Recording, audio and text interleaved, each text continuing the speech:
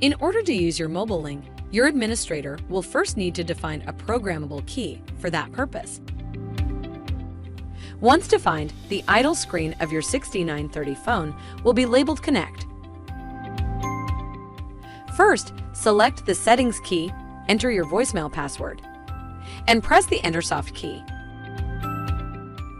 Scroll to Bluetooth using the navigation keypad and selector button.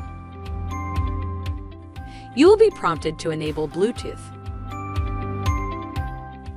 With Bluetooth enabled, you will be able to view paired devices and available devices in the environment, which are in pairing mode.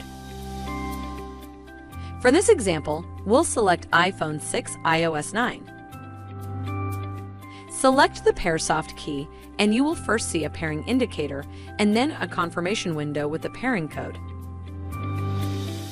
Select Yes and you will receive a connection successful prompt. iPhone 6 will now appear in the Paired Devices tab. In this example, a cordless headset has also been paired. Now, the Connect label on your programmable key will be replaced with the iPhone icon. In the directory, you will see mobile contacts in addition to enterprise contacts.